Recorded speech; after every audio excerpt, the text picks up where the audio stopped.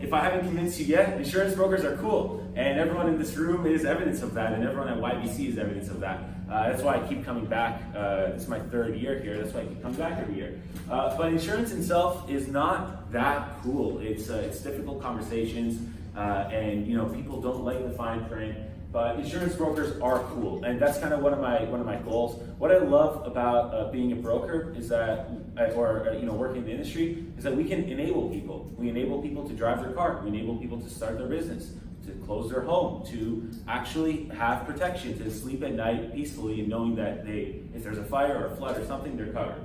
Uh, and what, what I love most about my job is that I get to also enable the producers to enable people. So uh, I think that enabling of the community is, is a really core component. And uh, Jeff alluded to finding your why earlier this morning, and I think that's my why. I want to enable people to be insurance brokers or to uh, have their insurance products.